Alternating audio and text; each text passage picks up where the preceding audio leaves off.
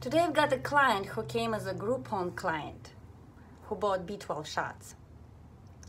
I never judge my clientele where coming from. I always treat them as a high value clientele. And that's what I did with this lady.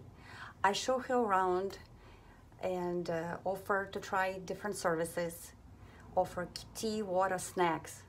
And she appreciated that. She ended up buying my hair restoration package, which is a four digit number. Again, never judge your client. Treat them like a family. That's what she told me. I like that you treat me like a family and I want to come to you. They will stick with you if you treat them right.